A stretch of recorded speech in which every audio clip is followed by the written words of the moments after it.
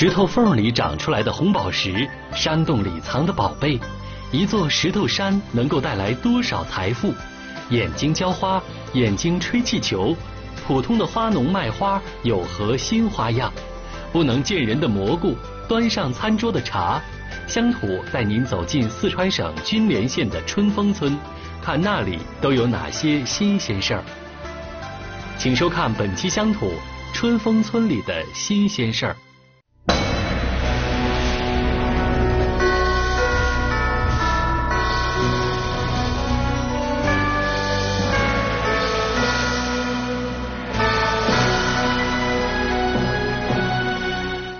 好，观众朋友，欢迎收看《乡土》。我们节目的编导小胖哈，之前去了一趟四川省筠连县腾达镇的春风村，回来之后说那村里的新鲜事儿还真是不少。这春风村呢不是很大啊，可是用十里不同天来形容它，那叫一点儿也不为过。不同的地理位置、不同的地貌，使得春风村的三个村民小组有着各自独特的景色和生产生活方式。小胖说了，说自己去过那么多的地方，可是在这春风村里有好多的新鲜事儿，他还是头一次见到。闲话少说，咱们这就去看看春风村里的那些新鲜事儿。春风村位于四川省筠连县城的腾达镇，分别由春风、中沙、龙塘三个村民小组组成。这些天，家住在春风小组的陶光新非常忙。他说自己家山上石头缝里长出来的红宝石丰收了。那这李子就基本都熟了吧？这是？啊，对啊，都要点的，都熟了，都可以吃了。你们可以尝一尝的。直接就可以吃吗？可以，就这样就可以吃了，无公害的。没有什么农药啊，什么都没有。我们这原生态的，基本呃没有什么经过什么农药啊，什么其他化肥啊，什么都没有。我这树上好多呀！哎呀，今年丰收啊！丰收了！哎，原来呀，当地人所说的石头缝里长出来的红宝石，指的就是李子。春风组这里属于喀斯特地貌，石头比较多，不利于农作物的生长。直到有一天，村民们发现李子不仅在这里生长的比较好，而且经济效益也不错，所以这里家家户户都种李子。陶大哥跟我们说，由于李子树生命力顽强，所以在他们这种石头山上也能种植。因为他们的李子是生长在石头缝里的，白天阳光充足的时候，石头能够吸收热量，并且保存到晚上，所以在石头缝中生长的李子要比在泥土中生长的李子在吸收热量的时间上要长一些。所以这里产出的李子个儿大，味儿甜。现在每到李子成熟的时候，就会吸引大量的游客来这里品尝李子、购买李子。你是从什么地方过来？是春风的人吗？是，我县县城里面的。哦，君连县的。哎。哦，经常来这儿吗？经常来，每年都来。哦。那个三月份的时候，我们来看梨花节。哦。六月份的时候，我们就来捡了李子，一家人。你看我，我我幺爸还有我妈。我女儿一起的来了。哦，这是你女儿，这是你的一家人，一家人，一家人。哦，都来摘李子吃李子。李子味道酸甜，能够促进胃酸和胃消化酶的分泌，而且还能促进肠胃蠕动，所以有改善食欲、促进消化的作用。你们这采摘也要花给钱吧？嗯，他要有炒你有那个代金来，有十块钱。哦。那你为什么不现在买现成的呢？哎呀，自己他们感觉到讲自然点，而且天然点感觉到那种舒服点，舒服点，而且能边摘边吃了，边摘边吃很乐趣，而且一家人在一起的也很快乐，对不对？啊，嗯。近两年，由于春风村的李子名声在外，游客越来越多，所以村民们有的开启了农家乐。一方面可以为游客提供一些特色食物，另一方面也可以增加一些收入。陶光新前几年和老婆开了一个农家乐。有游客的时候，他这个果农就会抄起家伙，转变成大厨。他还说，游客们非常喜欢吃他做的菜，并且有一道菜是必点的，那就是豆花。这就是了。啊，这样你看，感觉怎么样？水真清啊！哎，这能直接喝吗？可以，你尝尝吧。陶大哥说，只要做豆花，就要到山下的泉眼里打两桶泉水。因为听祖辈说，加入这个泉水做出来的豆花味道格外清香。来来来，小胖，你看，尝一尝这个水跟别的水有什么区别？直接就能喝呀？可以喝，想想啊，这个是山泉水，会不会怎么样？凉凉的，凉凉的，有点甜。哎，你说这个泉叫什么叫龙岩泉？啊，龙岩泉是哪个岩呢？就是唾液那个意思，那啊个唾液的意思。龙的唾液啊，对。刚才我喝的都是龙的唾液是吧？对啊。哦，拿这个龙的唾液的水来去做这个豆花。对。哦，那这个泉水有多少年了，知道吗？哎呀，这个就不清楚，我估计哈，盘古开天地的时候就有了。开天就有了啊。那个时候也是也是好。这个我知道，这个放在里面。树叶水不会溢出来吧？啊。哎，就是感觉不不会溢出来吧？扁担我也不会扛，帮不上你了。哎，没事，反正我们农村人习惯了。在春风村，传统的豆花除了需要龙涎泉水，还需要用到石磨。在这个机器代替手工的时代里，使用石磨做豆花，反而使得游客们耳目一新。许多游客都要亲自体验一把推石磨磨豆子的过程。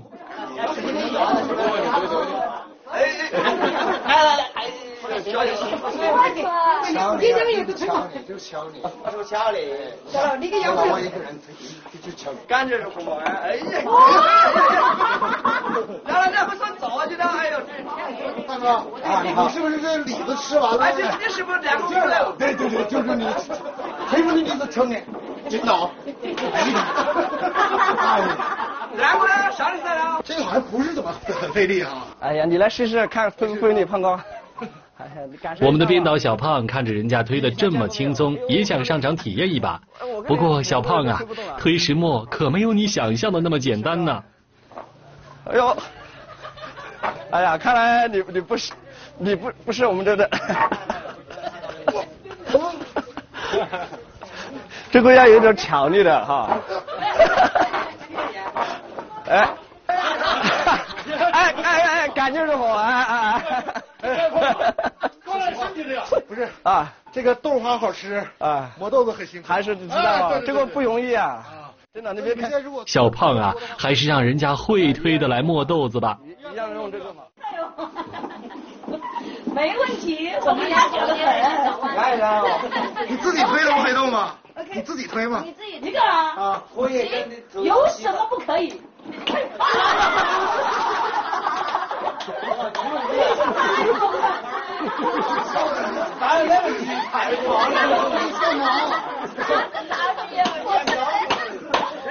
这位大姐，知道你的力气大，可不能把人家的石磨推坏了呀。看来还是你是大力士啊！你看，哎，哎呦，我待会儿都推了，打脚了。春风组里有一棵大榕树，在天气炎热的时候，游客和村民们都喜欢到这棵榕树下避避暑。正应了那句话：前人栽树，后人乘凉。在这下面吃上一碗刚做出来的豆花，那也是相当享受的事情。尝尝啊，这刚才我们自己磨的，自己磨的，体验一下，看看这个味道是不是跟别的不一样啊？谢谢。来来来，我来我来我来，我跟陈老师这个料都有什么呀？肉肉末，还有一个青椒，青椒，哎，然后用那个菜油跟着一起炒，然后放上佐料。好吃很嫩啊豆花啊，可以吧？然后关键是坐在这个榕树下面很舒服哈。有时候体验一下嘛，是吧？这谈天说地哈，吹吹牛。我看有大家在那喝茶的啊，喝还有吃喝茶，吃吃豆花，打打牌啊，这个也很养生的，是吧？春风组这里属于喀斯特地貌，到处都是石头山，而且还有好多溶洞。聪明的村民们不仅因地制宜的在石头缝里种出了李子树，就连溶洞也充分的利用上。他叫赵宇龙，老人今年七十三岁，有三个儿子，三个女儿。同春风组的其他人一样，他们家也有一片李子地。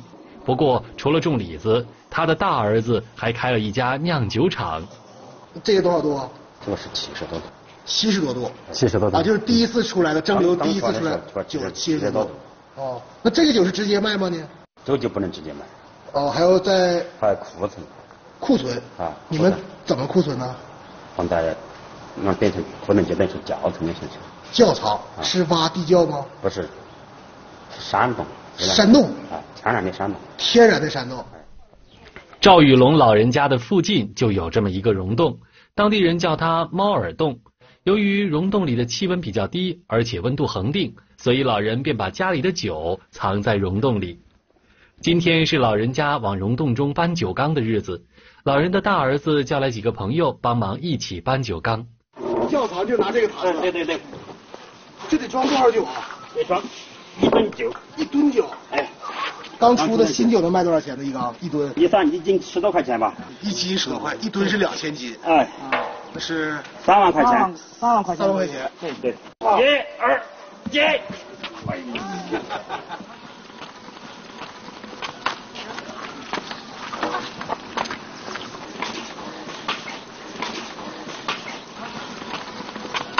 这就是我们的猫耳洞啊。这就是猫耳洞，不要蹲脑壳，这小心啊，蹲脑壳啊。上面还滴水呢。对。哦，这就高了。这高了啊。这个地下的管子是什么呀？像蛇一样。这管子是放。哦，就是你拿那个酒往那个缸里输输存酒的。输送酒的。输送酒的。对。哦慢点哈，蹲到脑壳哈，慢点哈哈。这里面好凉快啊。啊，很温很温，这里面哈。这就是钟乳石嘛。慢点台阶哈。慢点慢点哈。这是我们自己修的。自己修的。这里面就大了，豁然开朗啊！哇，这么多啊！这有多少坛呢？就有三十多坛吧，现在可能三十。三十多坛啊。然后最里面的就是有说将近十年了。啊，将近十年了。现在这个将近十年酒能卖多少钱一斤呢？卖今年价格三三百以上。三百啊，美金。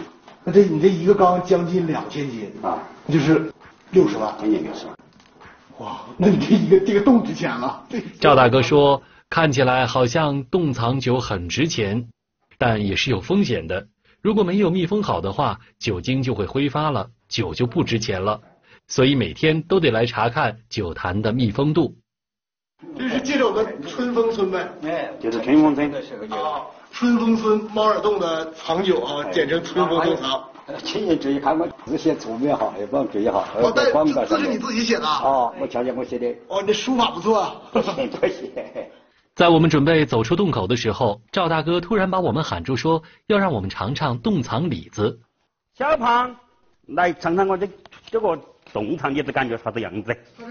哟这直接吃就行。哎。嗯，感觉好吃吧？反正感觉好像比那个不是冻藏的要甜一些，还甜一些，还有个脆一些，脆一些。哎，闻着凉，像从冰箱里出来的。这几十个。这个夏天吃的比较舒服哈。对对对，就这意思。哇，行啊，喝不到你那个十年的冻藏酒，吃吃我们这个冻藏李子。老人说，家里的酒厂有大儿子打理，自己家还有一大片李子树，儿媳妇们负责李子的销售。平日里，他的生活除了查看查看酒坛子，就基本不用干什么农活了。看着儿子儿媳这么能干孝顺，孙子们一天天的长大，老人和老伴儿觉得很幸福。今天是春风村一年一度的李子苹果节。举办苹果节的目的，一方面是为了庆祝李子丰收，另一方面是为了吸引游客。在苹果节上，会评出红李子和白李子大王。哇，双料冠军！红李子大王，白李子大王，还会评出吃李子大王。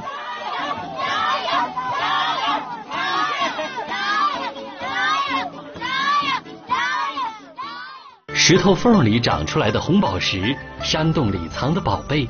一座石头山能够带来多少财富？眼睛浇花，眼睛吹气球，普通的花农卖花有何新花样？不能见人的蘑菇。端上餐桌的茶，乡土带您走进四川省筠连县的春风村，看那里都有哪些新鲜事儿。请收看本期乡土春风村里的新鲜事儿。春风组由于喀斯特地貌的限制，李子是他们的支柱产业，而与春风组距离不远的中沙组，地形地貌却与春风组截然不同，村民致富的方法也不一样。哎，大哥，我看你们这个村儿，这个叫中沙小组啊，种的都是花吗？这些？对我们这个中沙小组的话，全都种花。全都种花。哎，那你们这个卖花，你们村谁卖的比较好啊？老张卖的比较好。他卖的比较好。哎。是他的花种的比你们好吗？不是，花都一样的。哦。花都是一样的。那为啥他卖的好？哎呀，就是他有能力，呃，有个绝活。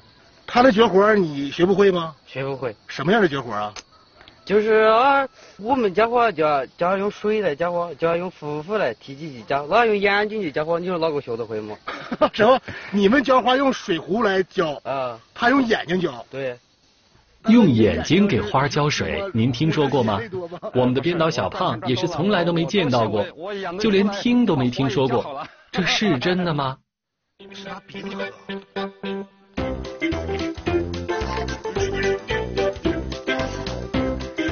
给我给我。还能说话？呃，就这都行。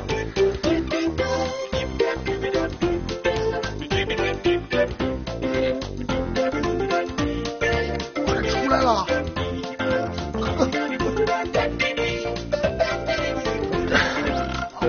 是从这个，是我们平时流眼泪的那个地方出来是吗？啊，对。泪，从泪腺出来的吗？从泪腺出来的，哎。吼吼！张大哥是个性格开朗的人，每次有游客来到中沙组买花，他便把大家请到凉亭下为大家表演才艺，一方面能够为大家带来欢笑，另一方面也能促进花卉的销量。哦，谢谢！哎呀，再跟大家表演一个接花。啊。嗯，我这个接花是这个用眼睛往这个水杯里面吐气泡。啊，眼睛不光能出水，还能出气儿。哎，对。哦，那你来试试。好。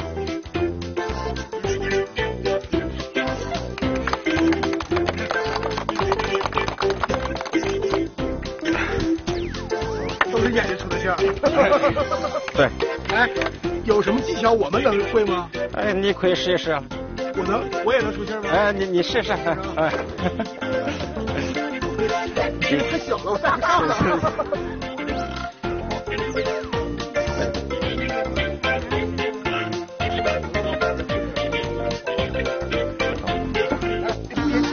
哎，对，也要把口鼻捂住。张大哥这绝活，一般人还真学不了。有了这个绝活，吸引顾客，难怪张大哥家的花卖的最好了。不过，人家张大哥说了，光靠自家的花是满足不了顾客的需求的。他经常会把顾客带给其他村民，促进他们的销量，这样大家就能够一起富裕起来了。中沙组的主要产业就是种植各种花卉。而春风第三个小组龙塘组又种植的是什么呢？来到龙塘组之后，我们看到的是大片的茶园。龙塘组的王大哥说，今天要带我们去采茶，然后给我们做一道奇特的美食。你知道这个茶叶是干嘛用的吗？泡水喝吗？你泡水喝，你知道北方人喝茶知道是泡茶喝。啊。它还有一个最好的问题。啊。你是不知道的。啊。它这个我们这个茶叶是原生态的，第一没有农残，一点没有的。第二是原生态的。啊。最重要的，它还有个延年益寿的一个功效。延年益寿。对，我们这个茶叶它采来做什么？啊。做菜用的。做菜。对啊。你吃过吗？是配料还是主料啊？呃，它这个是主料。就拿茶叶是主料，对。哦。但是茶叶做菜，你们北方人吃过吗？北方基本不吃。你肯定没吃过。那在龙塘组啊，我们是不是家家基本家家都种茶？对。现在一般像你一年能收入多少钱呢？嗯，要是作为茶叶来讲呢，一年也不多，可能就是个二十万左右吧。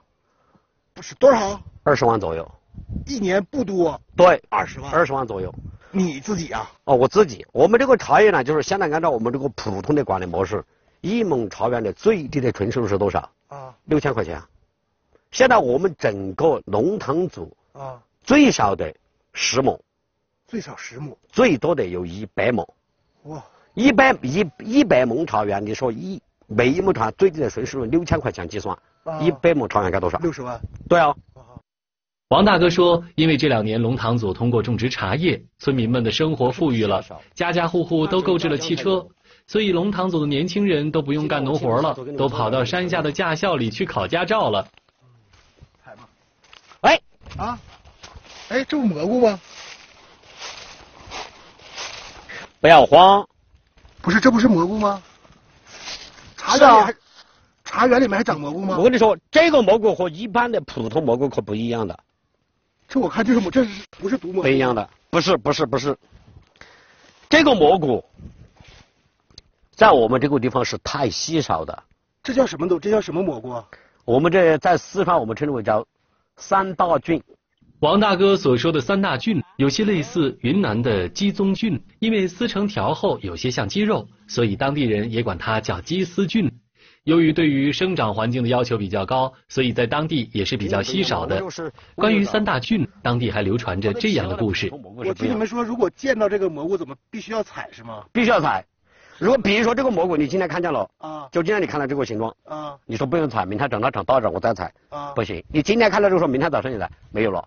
为什么呀？全部都腐烂了。啊，他这个，那不是说我们看到他，是说他看到人的话，看到我们的话，他有种灵气。不踩他明星。对，我们按我们四川人的一个比较通俗的说，就是他这个是比较小气的。小气。对，就是今天你看到我了，你要不踩我，自然就坏掉了。那就是逼着我们。能够碰到这么稀少的三大菌，小胖，你可有口福了。采完茶，王大哥带我们来到了村里百岁老人的家里。王大哥说，老人之所以长寿，就是因为爱喝茶，并且经常吃茶叶做的菜。何永清老人今年一百零二岁了，家里五代同堂，老人的后代们经常回来看老人。王大哥跟老人是亲戚，今天他来看老人，给老人做一顿饭。刚采回来的茶叶洗净之后，裹上鸡蛋液和淀粉下锅炸制，一道香喷喷的干炸茶叶就出锅了。这是老人最爱吃的一道菜，尝吧。嗯，在老人品尝炸茶叶的同时，王大哥又忙活起来了。这是刚才我们无意中碰到的三大菌，在做之前要洗净，洗的时候可不是跟我们平时洗菜一样，是有诀窍的。得洗这个三大菌呢，为要用叶子洗的，别的不行吗？别的不行，洗不了的。别人别的东西洗，它这个土是洗不起、洗不起来的。用抹布什么的，手是抹布，手都搓不下去。必须用刮叶，是不是因为这个叶子比较粗糙啊？比较粗糙，它上面有种刺。哦啊，上面有毛毛刺可以。对，必须有个毛毛刺，它才能够到这个这个沟里沟槽里边，才能够都全部洗起来。哦。洗净之后的三大菌，用手撕成条，加入蒜、姜、辣椒，放盐调味，最后加上大油下锅清蒸，这样做出的三大菌味道鲜香无比，还能够最大程度的确保营养不会流失。哦，哦，好，那个大哥，我听那个您爷爷啊，他就说这个，他也知道三大舅也喜欢吃哈。对啊。哦。然后我看你们是做好菜以后，一定要先给这个爷爷，先给他念一点吧。先给他来一些。对。这哪有嘛？何永清老人现在最大的幸福就是看着后代们围在他的身边，看着他们一个个的长大成人，成家立业。尽管随着这几年春风村的发展，使得村子里的现代化气息越来越浓重，但是村民们在某些方面还是会保留祖辈们流传下来的习惯。他们也希望这种祖辈流传下来的东西能够继续流传下去，就像村子里的那棵大榕树一样，能够为后辈们留下一些值得纪念的东西。这春风村的新鲜事儿还真是不少哈。我们的编导小胖呢，回来当时也跟我们说了啊，说这几年春风村的村民们在镇政府的带领下，根据不同的地形地貌，各自种植了不同的植物，不仅发展了农业，还发展了旅游业。农民们的腰包，哎，如今是越来越鼓了，这脸上的笑容也就越来越多了。好了，诸位，今天的节目就到这里。如果您想了解节目的更多内容，请关注我们的官方网站农事网、农事网官方微博、微信、移动客户端以及央视网查询浏览。中国有多奇，乡土告诉您。咱们下期节目再见。连续十五天，天天有节日，坡坡有惊喜。骑着摩托，背着干粮，苗家人对赶坡充满了热情。这里不光有盛大的芦笙彩堂，有激烈的斗马比赛。还有披着草衣、挂着面具的怪物，他们扮演的是什么角色？疯狂的节日里，少不了色香味俱全的美食。欢迎收看下期乡图：大苗山下坡连坡。